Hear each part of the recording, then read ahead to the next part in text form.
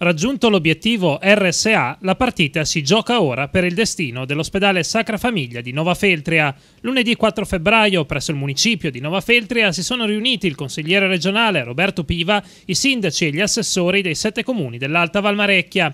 Non c'è nessuna blacklist degli ospedali, puntualizza Roberto Piva in merito all'elenco stilato da Tiziano Carradori, direttore generale della sanità regionale, con i 25 nosocomi della regione destinati a diventare delle strutture di comunità.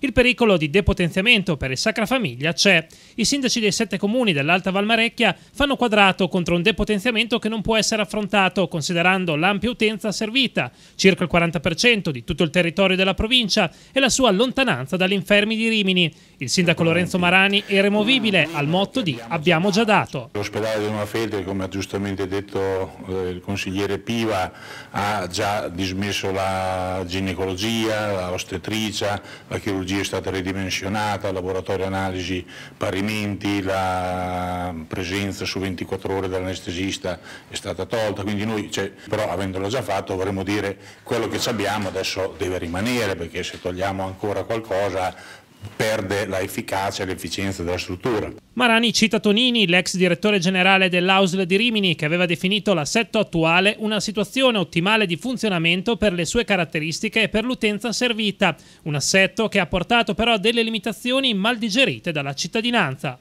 Se qualcuno mi chiedesse se è stato fatto bene o male eh, chiudere il punto nascita Nuove Felte direi di sì, per esempio, perché ormai è a livello ultranazionale europeo che sotto un numero, uno standard di parti non c'è più la sicurezza, non c'è più tutto quello che può comportare un'emergenza legata appunto a un parto che si può presentare normalissimo fino all'espletamento dello stesso, poi nel giro di pochi secondi, pochi minuti può degenerare in una crisi difficilissima e drammatica sia per la mamma sia per il bambino. La partita è dunque tutta da giocare, il consigliere Piva però rassicura per la risoluzione della vicenda legata all'RSA è stata decisiva la collaborazione tra regioni ed enti locali, una collaborazione che non diventerà ostilità relativamente al futuro dell'ospedale Sacra Famiglia. È sempre un lavoro da fare assieme, nessun uno contro uno, conferma Piva. Tempi comunque lunghi perché prima dovrà andare a regime l'importante riforma della AUSL unica Romagna.